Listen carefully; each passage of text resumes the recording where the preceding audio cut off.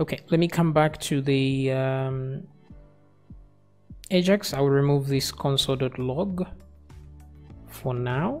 Or let me leave that in there just in case. So the problem that I did is uh, this is where things go when there's an error. And this is where things go when there's no error. So this is my bad. I don't know why I did this. This should have been here. So let me cut this a, uh, out and put it here. And let me remove the print readable actually, we don't need that. But we may need data here to be empty just for the sake of it.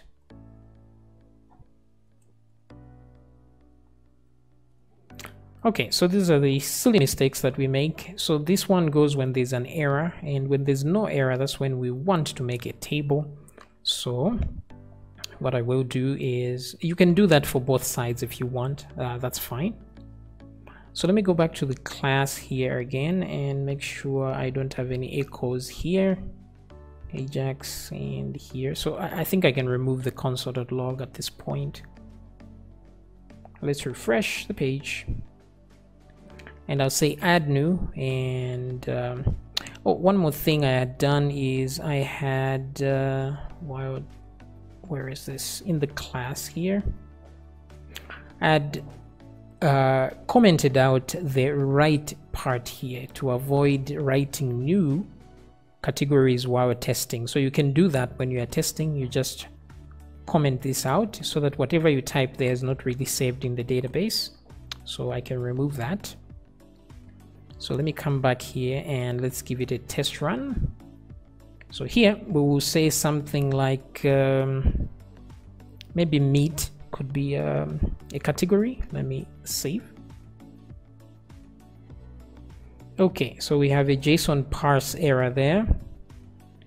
So which means uh, we actually did need the console.log. So let's try that again, refresh. Let's see if meat was saved. Ah, meat was saved. Okay, so what else can we add here? Clothes, um, books. Let's try something like bags. And let's save. So we see the error in the process. So fatal error uncaught code to undefined method PDO read.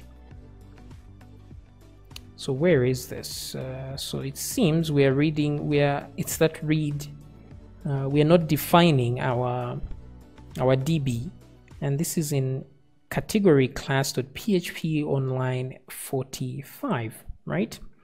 And if you look at the stack trace here, it was called in when we said get all. So there's the get all function here, which is um, implicated in this matter. So what I will do is go back to my uh, I think I know what the problem is so I can happily remove the console.log but you can leave it there for uh, troubleshooting. So let's go to the get all. Actually no I may not actually know what's going on. This is uh,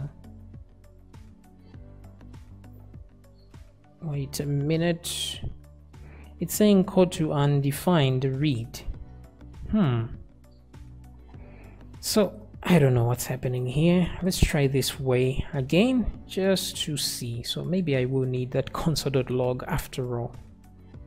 So also what I will do is I will in the category class I will remove this so that I don't save anything there and let's come back here I want to see what errors I get.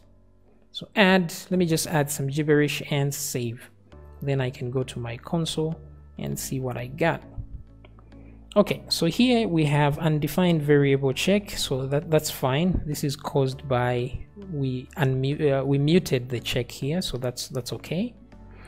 And uh, what really is the error here? The real error is this fatal error here, Fatal error means it failed to continue, so code to undefined method PDO read. So on line 45. so it's telling me that uh, read is not correct so let's go to our database then and see if read is not correct so let's see here uh, but there's read right there and there's write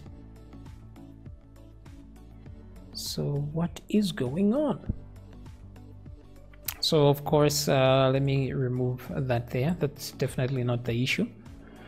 So the issue is because we are using the same instance um, of db because when uh, we say get instance it uh, it duplicates the same instance again. So the fact that we are using uh, if I go to ajax.php here inside the create we are coming back to category and creating an instance here.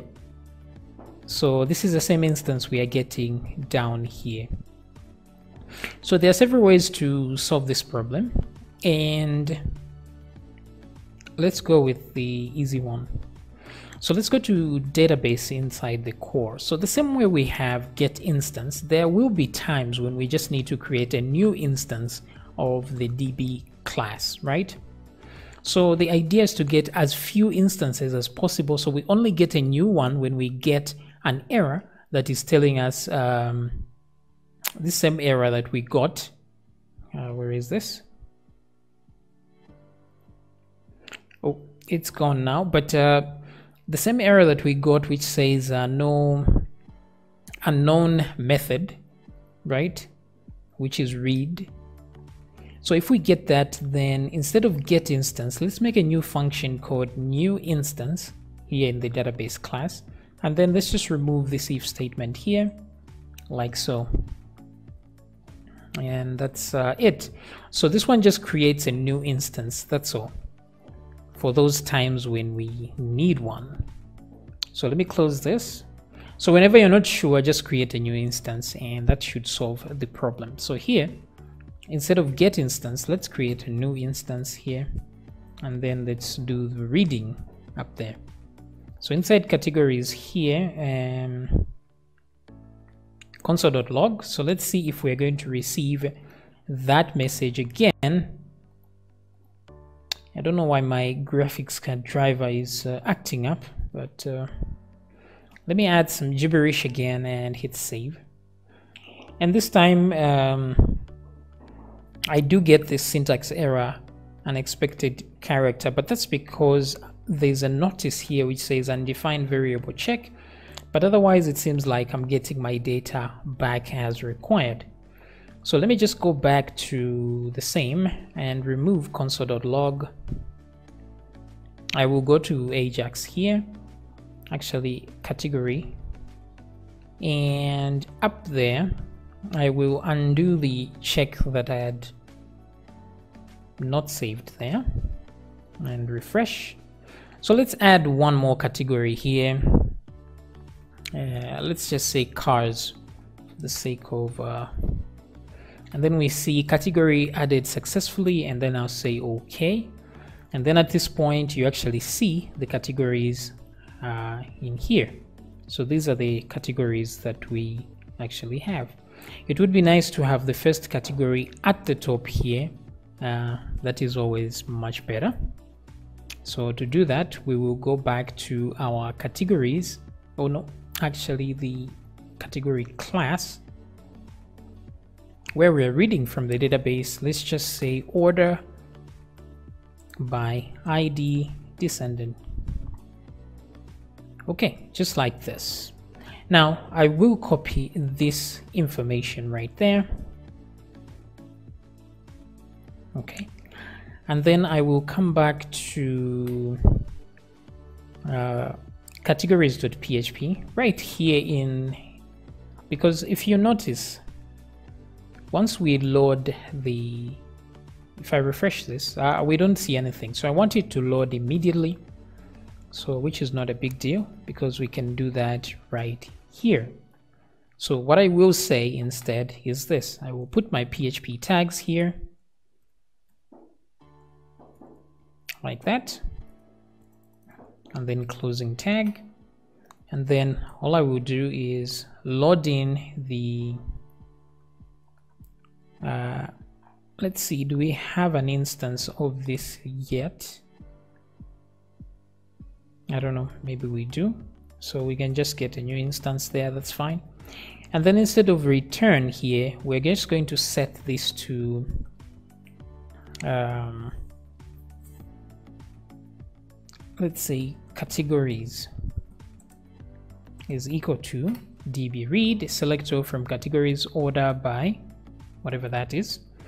And then here we will come back and do make table with categories there.